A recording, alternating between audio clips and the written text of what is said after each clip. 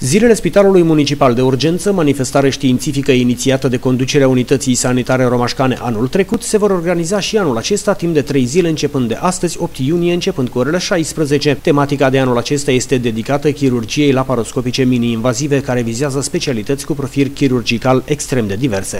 Da, după cum știți, suntem la ediția a doua a zilelor Spitalului Municipal de Urgență Roman. Este o manifestare cu caracter științific care are anul acesta o temă chirurgicală și anume chirurgia laparoscopică minim-invazivă, interesând atât specialitățile chirurgicale uh, de chirurgie generală, ortopedie, obstetrică, ginecologie, uh, gastroenterologie intervențională și uh, chirurgie și ortopedie pediatrică. În prima zi de desfășurare a manifestărilor de la orele 16 vor avea loc expuneri despre managementul calității legislației sanitare, sănătate publică și management sanitar susținute de doi invitați de calibru, respectiv profesorul universitar Vasile Asterăstoaiei, fost președinte al Colegiului Medicilor din România și rector al Universității de Medicină și Farmacie Grigore T. Popa din Iași, precum și de către Constantin Poiană, manager de calitate la Spitalul Buhuș.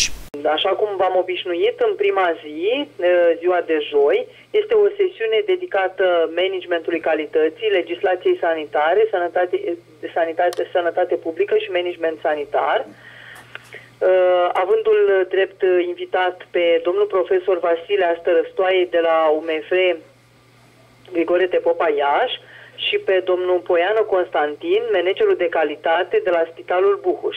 În cea de-a doua zi a manifestărilor vor avea loc manifestări de specialitate pe tema aleasă, care se vor desfășura pe două secțiuni, una pentru medici și a doua pentru asistenții medicali.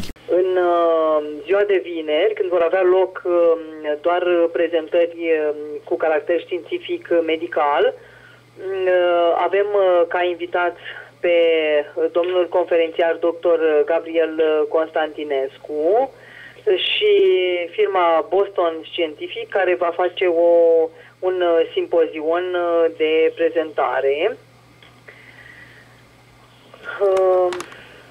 Da. Cina festivă pentru anul acesta, în data de 9, seara de vineri, va avea loc la Hanul Ancuței.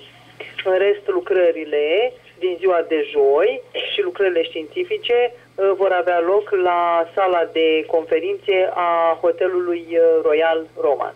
Asemenea, manifestări științifice fac parte din programul obligatoriu de perfecționare medicală pe care trebuie anual să-l urmeze fiecare medic sau asistent medical pentru a obține de la Colegiul Medicilor sau Ordinul Asistenților dreptul de liberă practică medicală care se atribuie anual celor care lucrează în domeniul sanitar.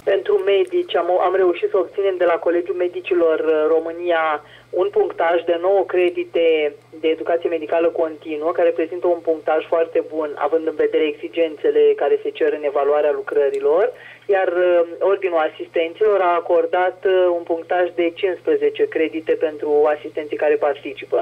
Manifestările se vor încheia vineri 9 iunie cu o masă colegială organizată anul acesta în atmosfera tradițional românească de la Hanu Ancuței.